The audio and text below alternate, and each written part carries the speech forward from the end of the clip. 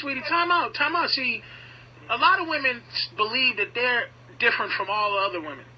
You would do that because let me explain to you. In your jealousy, here's how warped you are.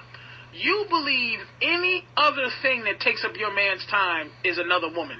If he loves video games, it's like that bitch Gears of War. 360. If he loves DJing, that fucking hoe spinning record, that spinning record, you get jealous of anything that you feel is better than you in the relationship. So she didn't. She she knows that asking a man not to have a career, not to build his life is wrong.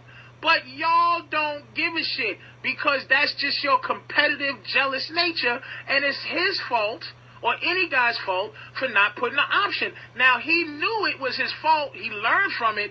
Now look it, bitches are suffering.